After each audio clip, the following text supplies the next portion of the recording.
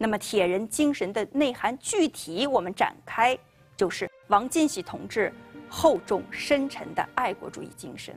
一九五九年，王进喜当时作为石油战线的劳动模范去北京参加公交群英会。休会期间，他去参观首都的十大建筑，路过沙滩街时呢，看到行驶的公共汽车上背了一个大包袱，就问身边的同志：“汽车背的是个啥？”回答说是煤气包。背那家伙干嘛？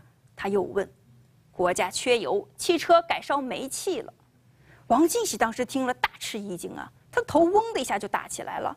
他说：“我在玉门觉得油很多，可出来一看，油缺得很，连首都北京毛主席住的地方都没有油用了。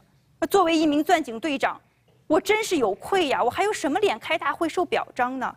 想着想着，他就蹲在北大红楼附近的街头，流下了眼泪。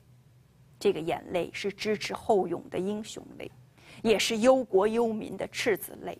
这成为王进喜后半生为国分忧、为民族争气的思想动力。也正是在这次群英会上，王进喜得到松辽发现大油田的消息。一九六零年三月十五日，他带领全队，带上所有家当，从甘肃玉门出发，日夜兼程，恨不得一下子就飞到大庆。在一望无际的大荒原上。他以西北人特有的豪迈呼喊道：“这回咱们掉进大油海里了，甩开膀子干吧，把贫油落后的帽子甩到太平洋里去。”面对当时的重重困难，让我们来听一下王进喜是怎样说的：“革命不能等，我们几十个工人就是几十台吊车，我们几十个人就是几十台拖拉机。有条件要上，没有条件创造条件。”也要上。一场人与钢铁、力量与困难的较量就此开始了。三天三夜，王进喜带领队友杠杆撬、滚杠滚、大绳拉，硬是靠着双手和双肩把这六十多吨的钻机设备卸下来，装上汽车，最后搬运到井场，靠人力把井架立在了茫茫的荒原上。人拉肩扛，口号响亮。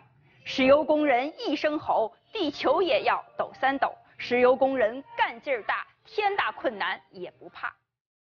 王进喜后来说：“北京汽车上的煤气包把我压醒了，真真切切地感受到国家的压力、民族的压力，呼的一下子就落到了自己的肩上。”他曾多次向工友们说：“一个人没有血液，心脏就停止跳动；工业没有石油，天上飞的、地上跑的、海上行的。”都要瘫痪，没有石油，国家有压力，我们要自觉地替国家承担这个压力，这是我们石油工人的责任。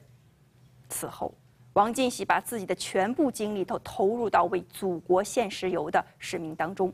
在会战最困难的时候，王进喜告诫大家说：“我知道住房有困难，吃饭有困难，这困难那困难，国家缺油是最大困难。这矛盾那矛盾，国家缺油是最大矛盾。”这种爱国主义情感是铁人精神最鲜明的民族品格，是鼓舞斗志、激励进取、催人奋进的强大精神动力。